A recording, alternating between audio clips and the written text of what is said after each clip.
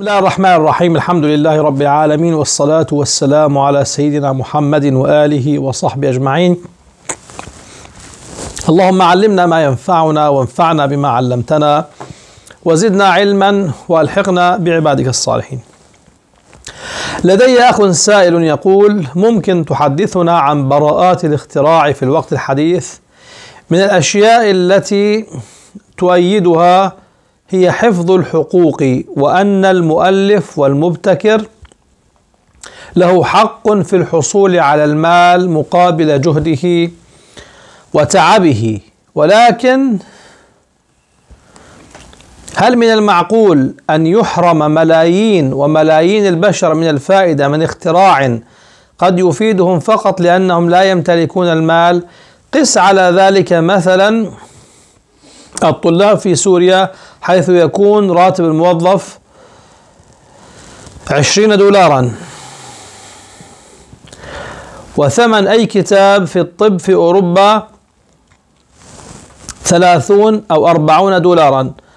وهناك كورسات طبية لمدة سنة واحدة. سعرها ألف دولار. هل يجوز تحميلها مجانا خصوصا إذا كان الفرد أصلا لا ينوي شراءها لعدم قدرته على ذلك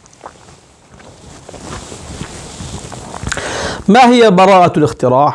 الإنسان إذا اكتشف شيئا أو اخترع جهازا أو مادة أو عرف شيئا من الأسرار جرى الغربيون على إعطائه براءة الاختراع وبراءة الاختراع يعني هذا شيء يمكنه من الاستفادة المالية من هذا الأمر بحيث لا يسرق جهده لا يأخذه شخص آخر وينسب الاختراع إلى نفسه ويأخذ المال.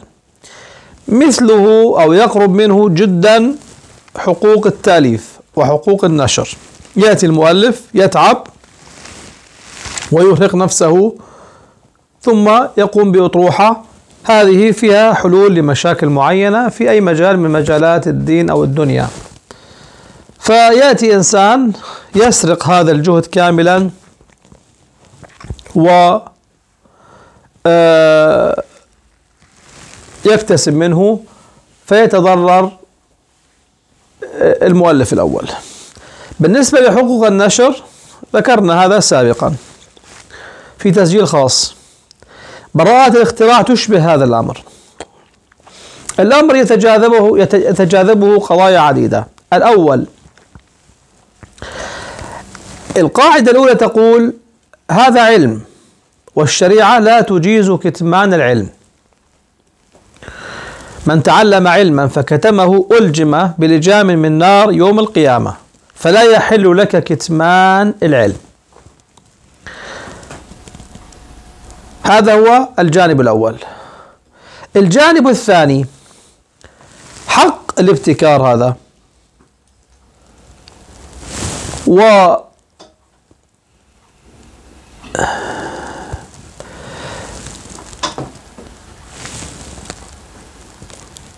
هو شيء جديد.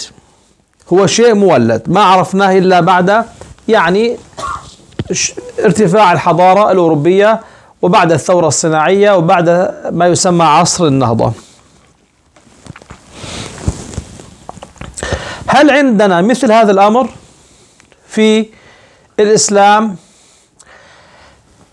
كان أشياء تشبهه لكن هذه كانت تدخل في الصنعات لا يعدونها في العلوم. فرق بين العلوم وبين الصناعات. أصحاب المهن وأصحاب الصناعات هؤلاء يرتزقون. أما العلماء فالأصل في عملهم في شريعة الإسلام هو أن يكون حسبة لوجه الله سبحانه وتعالى. فأصحاب الصناعات اليدوية والمهارات ولذلك أحيانا تجد يختلفون في أمر. في الخط مثلا هل هو علم من العلوم أم هو صنعة وحرفة؟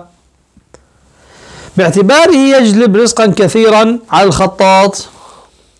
هذا يجعله في الحرف.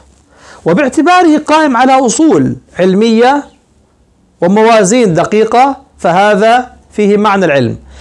ما دام فيه معنى العلم النبي عليه الصلاة والسلام يقول من تعلم علما فكتمه. ألجم بلجام من النار يوم القيامة فكل علم لا يحل كتمانه. ولكن أن تختص أنت مثلا بشيء هي رزق هو رزقك وصنعتك. الممنوع أن تكتم العلم ولكن أن تعلم من يستحق هذا العلم بشروط معينة لك أن ترتزق منه مثلا إذا كان عنده قدرة وأنت ليس عندك رزق إلا هذا بحيث يعني يمكن هذا يعني لا يوجد مانع من هذا الأمر لأنه أنت الآن تعلمه.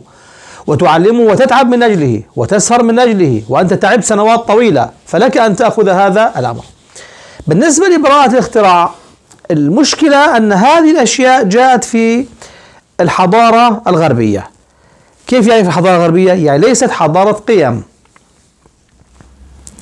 فالمقياس عندهم هو المادة وليس القيم وليس الآخرة ليس إرضاء الله سبحانه وتعالى. ولذلك المسألة مادية بحتة. يعني نحن الآن يجب أن ننظر بموازنة. إذا ما نظرنا إلى الشركات الكبيرة التي تأتيها أبحاث علاجية ودوائية كفيلة بالقضاء على مرض معين. فتشتري منك براءة الاختراع بثمن كبير جدا. تعطيك مثلا خمسة عشر مليون دولار. خذ أنت عش غنيا الآن. ولكن هذا الحق لنا وممنوع أن تتكلم فيه مع عقد. يمنعك من الكلام. لماذا؟ لأنها هي تأخذ مليارات سنويا من الأموال بالإتجار بمرض الناس. هذا يذكرني بعنوان هذا يقول ماذا خسر العالم بانحطاط المسلمين؟ هذا خس هذا هذه خسارة بسبب انحطاط المسلمين. هذا جانب تقديم الربح مطلقا ولو على أساس شقاء ملايين البشر. هذا الأمر يجب أن يزول. ولكن من الذي يزيله؟ المسلمون لا يستطيعون إزالته. فهذه حالة خطأ. وجود براءة اختراع بحيث يحرم المستفيد. من هذا الاختراع وهو آلاف الناس والرزق يأتي لفلان من الناس. يعني تصور نحن نتاجر بآلامكم وأمراضكم ويهمنا أن تزيد هذه الأمراض وأن تنتشر وأنت أيها الباحث خذ أجرك. هذا مقياس فاسد جدا ترفضه الشريعة تماما. فنحن مع الموازنة. لابد لصاحب الاختراع أن يأخذ حقه. وأيضا لا يجوز الكتمان. نحن مع القوانين التي تمنع التعدي على حقوق الآخرين. لأن لاحظنا حينما حصل التسيب في النشر في بلاد المسلمين وجدنا الكتاب والمؤلفين والعلماء في الغرب يعيشون في بحبوحة. هذا يؤدي بالآخرين أن يعملوا من أجل أن يعيشوا مثلهم. والناس يستفيدون من هؤلاء. بينما هنا ما الذي يحصل؟ الكاتب المسكين يتعب ويرهق نفسه ثم بعد ذلك الناشر السارق هو الذي يأخذ الأموال. هذا لا يشجع الناس على العمل. ولذلك أكثر علماء لا يبالي الآن بكتبه بيعت ذهبت جاءت ليس مشكلة. يقال له بيع كتابك يقول خلاص لا, لا مشكلة. لماذا؟ والحقيقة العبد الفقير سرقوا مني بعض الكتب وطبعت حتى باسمي أيضا. طبعت باسمي. لكن أنا لا أعرف من طبعها. الأمر هذا بالنسبة لماذا؟ يعني حصل عندنا هذا الخلل. فالأصل هو أن تبقى براءة الاختراع لصاحبها. والأصل أن يستفيد وأن يرتزق. لكن يحرم كتمان العلم. سواء من جهته هو ولو على الأقل لجهة محصورة حتى لا يكون كاتما. يكون لأهله. يدرسه يستفيد منه بأي طريقة ليس عندنا مشكلة. وكذلك المؤلف. في الكتب سابقا قلت الأصل هو عدم الأصل في الأصل العلم مبذول للجميع. طيب. أخذ حقوق النشر سيضر بالناشر ويضر بالمؤلف ويضر بالأمة. إذا لا مانع من حقوق النشر. ها.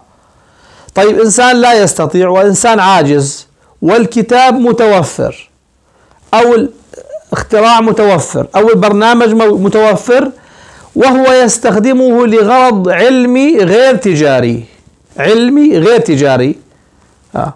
هذا إن شاء الله ليس فيه إشكال لأن لا يرتزق من هذا الأمر أما أن ترتزق وصاحب الرزق الحقيقي يحرم وفتاوى في بلاد مثل باكستان وغيرها فتاوى.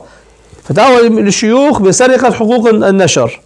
فيأتي الإنسان يتعب ويؤلف كتابا ضخما جدا ثم يسرق ويباع بربع القيمة. هذا هذا ليس عدلا. ظاهر تماما ليس أن هذا ليس عدلا. إذا نعود إلى أصل الموضوع. لا مانع من براءة اختراع على الدول أن تسن تشريعات وقوانين تحفظ حقوق الناشرين بحيث يرتزق من هذا الأمر. كذلك يجب السيطرة على قضية كتمان العلم لأن العلم ما جيء به ليكتم. وهذه الشركات تمارس خيانة عظيمة بحق الإنسانية فقط من أجل جانب الربح لا أكثر ولا أقل. هذا الأمر نحن نعطي مجرد نصائح وأحكاما عامة لا تطبيقها يعني يعسر. لماذا؟ لأن الأمر ليس بأيدي المسلمين. لكن نحن نثقف الناس. عسى الله تعالى أن يهيئ في يوم من الأيام جهة تستطيع أن تعيد المجد للمسلمين حيث كان العلم كله بالمجان. في عصر الدولة الإسلامية العلم الدولة مرتاحة من ميزانية التعليم والصحة. التعليم والصحة الدولة مرتاحة منهما. تمام الراحة. كيف؟ كل غني أو وزير أو سلطان أو زوجة سلطان أو إقطاعي أو باشا أي واحد أو عنده أموال هائلة لكنه ليس له نسل أغنياء هكذا. يأتي ويبني وقفا وقف مدرسة. كل المدارس كانت هكذا.